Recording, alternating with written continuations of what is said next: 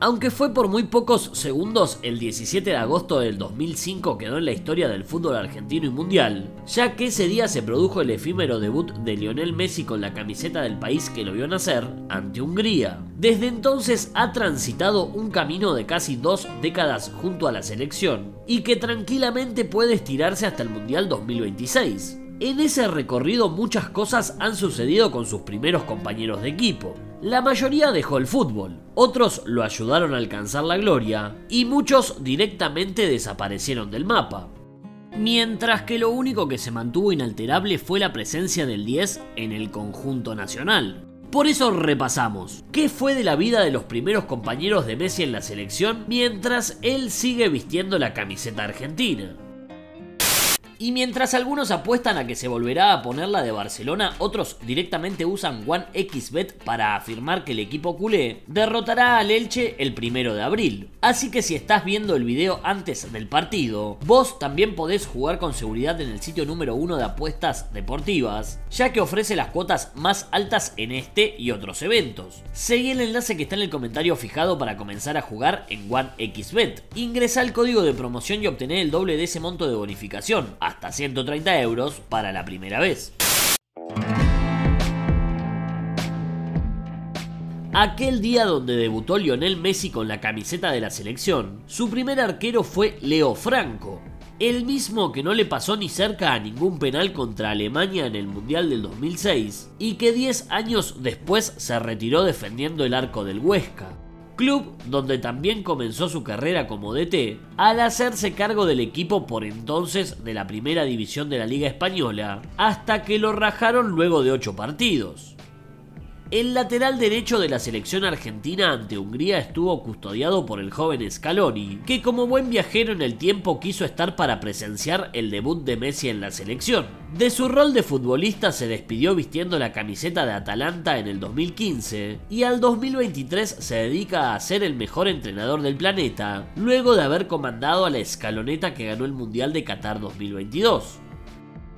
A su lado, tanto en el banco de suplentes como en el partido ante Hungría, Roberto Ayala estuvo en la saga central. El otrora defensor top vivió el ocaso de su carrera con la camiseta de Racing en una decepcionante actuación hasta que colgó los botines definitivamente en el 2010. Luego pasó de jugador a manager de la academia, hasta desempeñar esa misma función en la selección argentina. Pero luego de renunciar a su cargo encontró su lugar en el mundo al sumarse al cuerpo técnico del inexperto Scaloni y fue parte de la escaloneta campeón del mundo. Al costado de Ayala como central izquierdo ante Hungría estuvo Gabriel Heinze, que luego de errar penales, ganar y fracasar como futbolista, se despidió con la camiseta de Newells en 2014 para convertirse en entrenador. En ese cargo donde no decide nada, más solo propone cosas, pasó por Godoy Cruz, Argentinos, Vélez, Estados Unidos y regresó a la lepra mientras aguardan que Messi vuelva a ponerse la camiseta rojinegra. En el lateral izquierdo el capitán argentino fue Juan Pablo Sorín, que dejó de ser alumbrado por las grandes luces luego del Mundial 2006 y abandonó el fútbol en 2009 con solo 33 años. Desde entonces, Mientras Messi continúa jugando, Sorin como hechos más destacados se dejó crecer la barba, se la pintó de azul, fue periodista, escribió un cuento, presentó un documental sobre el Campeonato Mundial Sub-20 obtenido en Qatar y se afeitó la barba cuando Argentina se consagró campeón de América en el Maracaná. El mediocampista por la derecha el día que el bombón debutó con la albiceleste fue Lucho González, uno de los que más tarde dejó el fútbol, ya que lo hizo cuando estaba a punto de cumplir 40 años con la camiseta de Atlético Paranaense en 2021, e inmediatamente comenzó su carrera como DT en el fútbol brasileño. Y hablando de ser director técnico, Lucas Bernardi, quien fuera mediocampista central el día del amistoso con Hungría, vivió esa experiencia en reiteradas oportunidades luego de su retiro en 2014 jugando para Newells. Pero tan mal le fue como de T fetiche de Bragarnik que tuvo que buscar su camino como manager también de la lepra, aunque nuevamente dejó pronto ese cargo. También un castalepra formó parte del mediocampo argentino cuando nacía la leyenda de Messi en la selección, Maxi Rodríguez. La Fiera fue subcampeón del mundo con el 10 en Brasil 2014 y se retiró con 40 años en el 2021 en el club que lo vio nacer. Luego el propio Maxi pasó a ser lo que se denomina como leyenda FIFA, cargo que le otorgó la entidad madre del fútbol para participar en todo tipo de eventos, donde por ejemplo se lo vio pelotudeando al argentino en el Mundial de Qatar. Además, participó con su habitual traje bordó de Mundo Leo, justamente el programa semanal dedicado a seguir la actualidad del astro rosarino.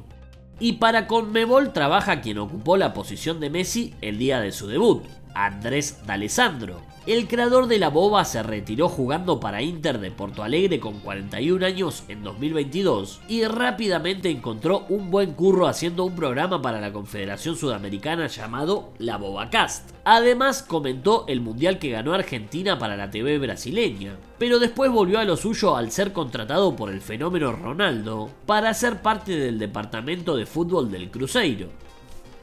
A Brasil en Qatar lo bufó magistralmente Hernán Crespo, quien fue uno de los delanteros aquel día que Argentina derrotó a Hungría. Valdanito se retiró del fútbol profesional en el 2012 a sus 36 años y llegó a ser vicepresidente del Parma antes de dedicarse a la dirección técnica. En este rol su logro más destacado fue ganar la Copa Sudamericana con Defensa y Justicia, hasta llegar a la vieja confiable oportunidad de dirigir en el fútbol catarí para llenarse más de guita todavía.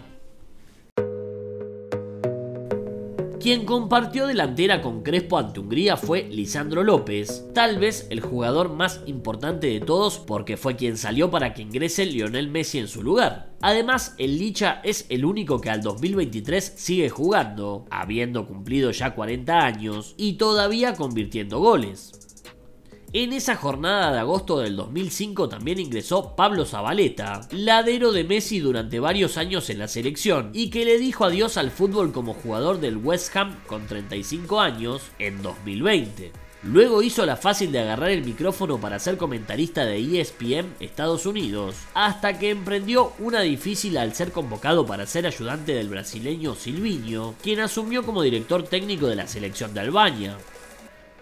También otro ex San Lorenzo ingresó aquel día, Mario Santana, del que poco se sabía en aquel entonces y mucho menos casi dos décadas después. Pero el hombre de Comodoro Rivadavia luego de partir del ciclón continuó durante más de 15 años su carrera en el fútbol italiano, aunque nunca más se puso la celeste y blanca. Además, vieron el efímero debut de Messi desde el banco de suplentes, pero sin ingresar Germán Lux, arquero que acostumbrado a estar sentado en ese lugar, pasó a integrar el cuerpo técnico de Martín de Michelis en River. Facundo Quiroga, que derrapó tan rápidamente que se retiró jugando para All Boys en 2013 y 10 años después colabora con el cuerpo técnico de Heinze en Newells. Gabriel Milito, que fue compañero de Messi en Barcelona y que todo roto se retiró en Independiente con solo 31 años en 2012 para convertirse en DT. El Chelito Delgado, que se retiró con 36 años en Central Córdoba de Rosario. Y también su gran socio en Rosario Central, Luciano Figueroa, que luego de perder su cabellera rubia también perdió sus poderes de goleador y luego de venirse a pique terminó en Malasia donde se retiró del fútbol a los 34 años, para volver a jugar en el mismo país dos temporadas más tarde y luego pasar a ser director técnico. ¿Tus compañeros ahí cuando te cuando volvieron y ya estabas expulsado, qué te dijeron? No, siempre eh, al lado mío, yo me acuerdo que lloraba mucho, estaba en el, en el vestuario y bueno, los más grandes eh, me abrazaron, me acobijaron y me, me decía que me tranquilice, que no pasaba nada, que era una expulsión, incluso me, me hacían broma de que no me acuerdo quién era, si el Kili era, que había sido expulsado también en el primer partido y después jugó un montón de partidos en la selección o alguno otro, no me acuerdo. Puede ser.